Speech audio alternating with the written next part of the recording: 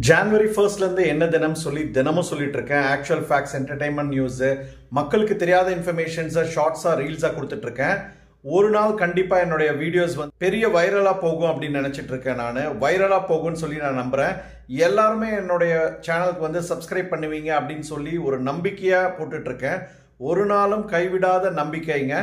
Yes never give up day இன்னைக்கு never give up டே வணக்கம் நான் உங்க ரவி. எல்லாம் நல்லா இருக்கீங்கன்னு நினைக்கிறேன்.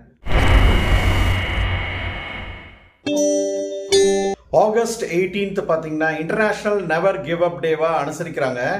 யூஎஸ் மற்றும் குளோபலி நிறைய கண்ட்ரீஸ்ல வந்து இந்த நாளை அனுசரிக்கிறாங்க. அதற்கான காரணம் என்னன்னு பார்த்தீங்கன்னா விடாமுயற்சி தாங்க. ஒரு நாளும் உங்களுடைய நம்பிக்கையை வந்து வீண் போகாமல் நீங்கள் பார்த்துக்கோங்க கண்டிப்பாக ஒரு கான்ஃபிடென்ட்டாக இருங்க அப்படின்றது தான்.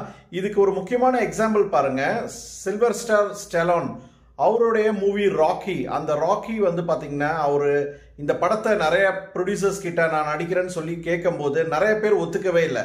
இந்த படத்தை நீங்கள் டைரக்ட் பண்ணுங்க ஆனால் நடிக்காதீங்கன்னு சொல்லிட்டு நிறைய பேர் சொன்னதாக சொல்லப்படுகிறது. ஆனால் ஒரு விடாமுயற்சியை அவரே கண்டிப்பாக நடிக்கணும் சொல்லி நடிச்சுட்டு அந்த படம் ஹிமாலய வெற்றி அடைஞ்சது.